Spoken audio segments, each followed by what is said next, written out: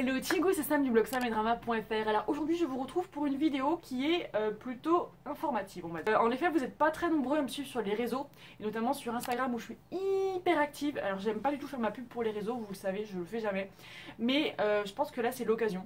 Si jamais vous voulez suivre mon actualité, si vous voulez suivre les aventures du chien, si vous voulez suivre un peu les dramas que je regarde ou si vous voulez être au courant des nouvelles vidéos qui sortent, n'hésitez pas à me suivre sur Instagram, Sam et les dramas. Je fais en général au moins une story tous les jours, euh, donc euh, c'est vrai que pour suivre mon actualité, c'est top. Vous pouvez me suivre également sur Twitter, mais euh, là c'est plutôt pour les annonces de vidéos ou des fois je vous partage quelques contenus, je suis pas très très active. Donc voilà, ceci étant dit, passons au vif du sujet, même si je pense qu'avec le titre de la vidéo, vous êtes déjà au courant. Je suis hyper heureuse de vous annoncer que je serai au concert de Eric Nam au Trabendo sur Paris le 18 juin 2019.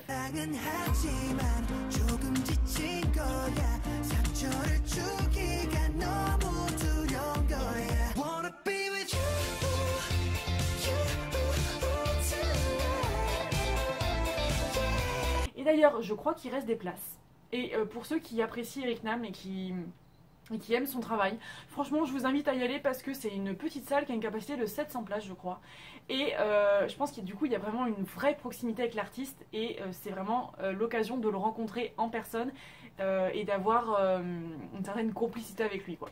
Ensuite, et là, je suis aussi méga super contente, j'ai eu ma place pour les Blackpink. Donc je vais donc aller les voir au Zénith de Paris en mai 2019 et je suis hyper hyper contente. Je pense que ça va être un super méga show, un peu comme les BTS. Et euh, je suis méga impatiente.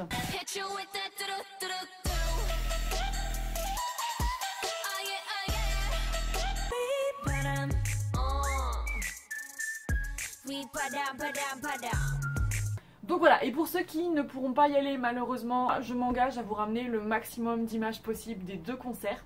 Et euh, je vous ferai des vidéos comme j'ai fait pour le concert des BTS, comme j'ai fait pour le concert des D6, pour essayer de vous ramener un petit peu de la magie qu'il y avait au concert. Donc voilà, c'était vraiment pour vous annoncer ces deux choses. N'hésitez vraiment pas à aller me suivre sur Instagram si tout ça vous intéresse, comme ça vous serez au courant des actes de mon actualité avant tout le monde. Et moi je vous fais plein de bisous, je vous dis à très vite pour une prochaine vidéo.